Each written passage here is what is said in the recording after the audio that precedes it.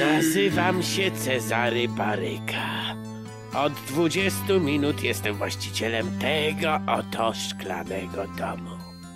Powoli zaczynam żałować zakupu.